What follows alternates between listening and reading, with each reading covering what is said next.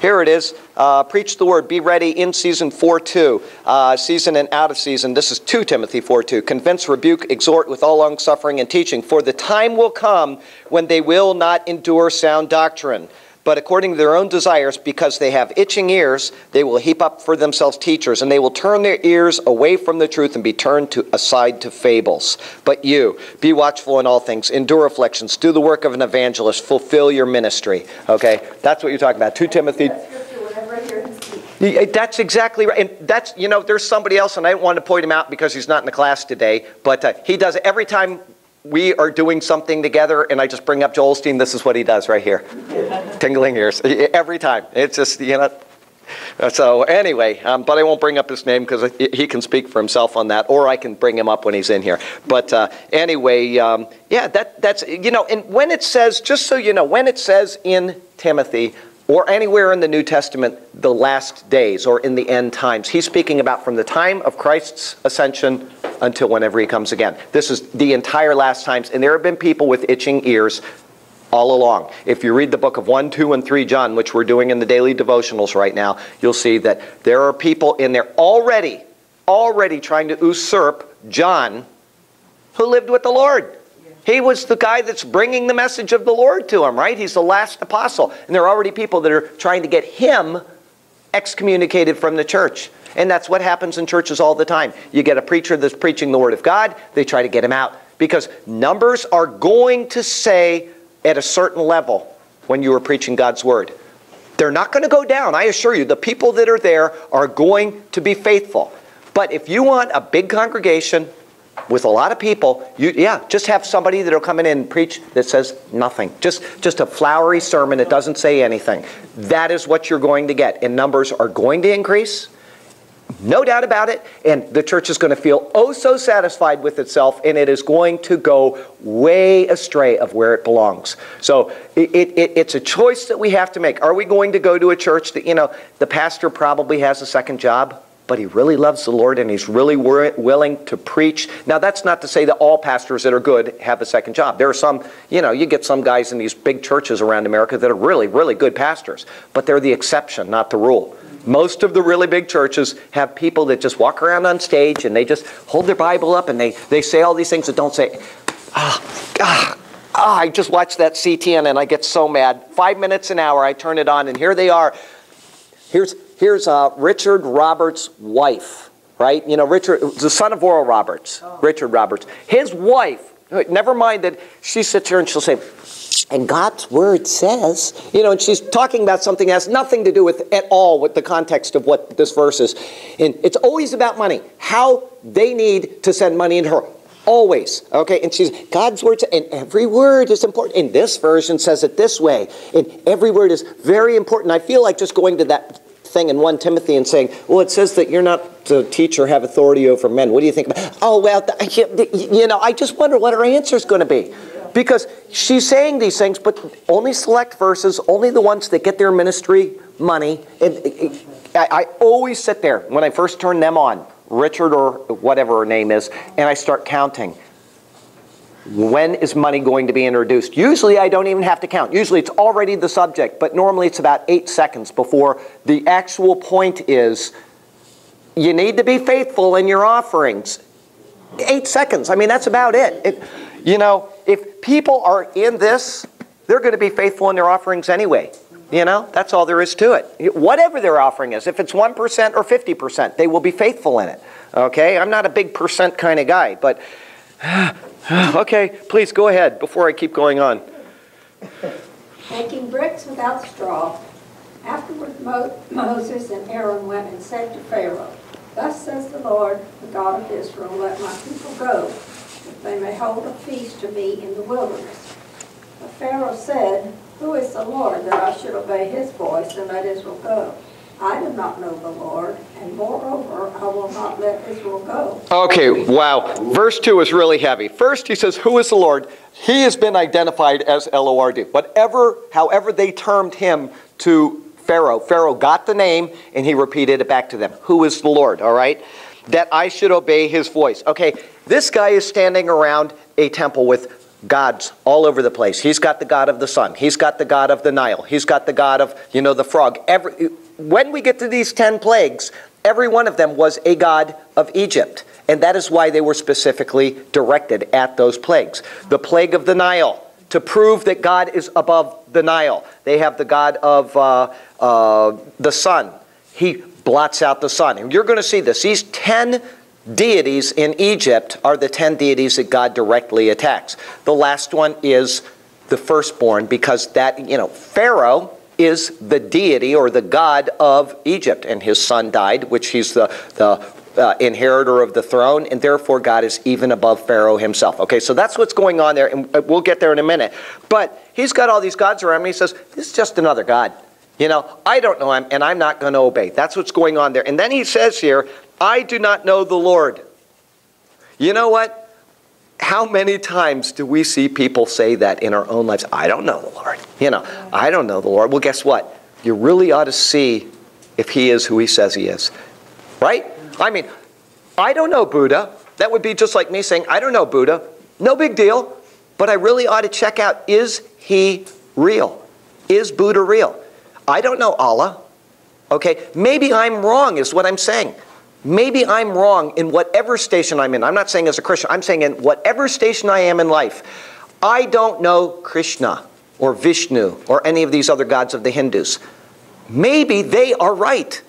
And that's why, remember the first three hours of this class, we talked about the nature of God. There can only be one God, and He has certain qualities that are identifiable. And we can know those as human beings without this book.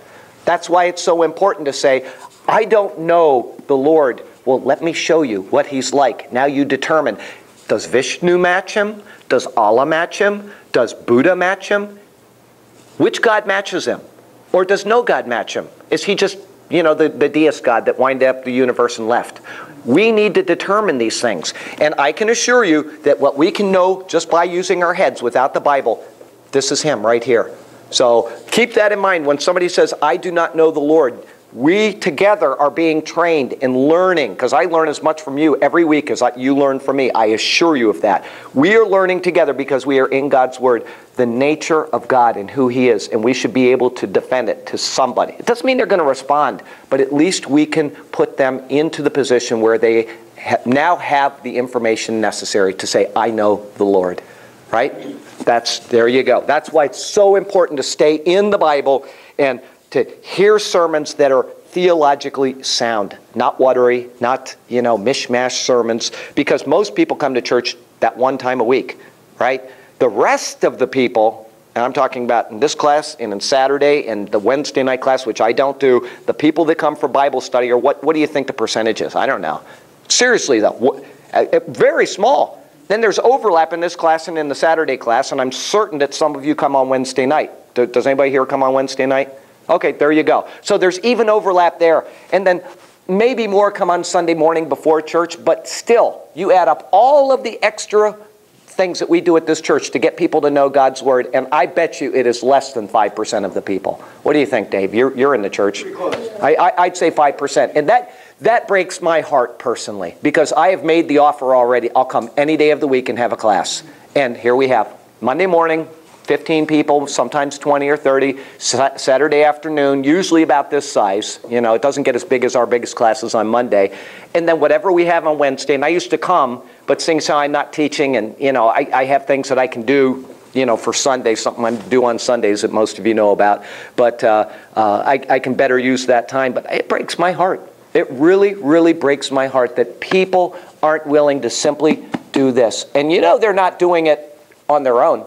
I don't care anybody says, oh, I read the Bible every day. I just, man, I find that hard to believe. If they're not in here, I find it hard to believe that they're really reading the Bible. You know, uh, maybe they're getting their Bible from Joel Osteen. So, yeah. Anyway, okay, I do not know the Lord, but we're, we're finding out about him, okay? Oh, I'm almost in tears right now. I get thinking about this, and it just breaks my heart. So, okay, verse 3. then they said, The God of the Hebrews has met with us. Please let us go a three-day journey into the wilderness that we may sacrifice to the Lord our God, lest he fall upon us with pestilence or with the sword. Okay, notice how they changed the terminology throughout the Bible. We've talked about this before, but it's a good point to remember. Who is the Lord? And then in verse 3 it says, the God of the Hebrews. Okay, and then it says, the Lord our God.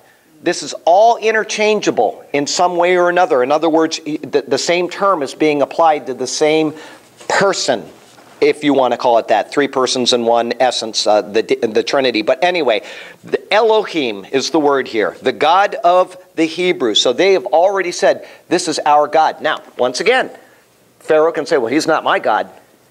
Right? He can say, He's not my God. Well, you ought to figure this out. What then is the purpose of being called the God of the Hebrews? Is that God is doing something in human history through a specific group of people. Okay, and that's important to understand because God is still the God of the whole world. Paul makes that claim in Romans. Is he not the God of the whole earth? And, you know, David does in the Psalms as well.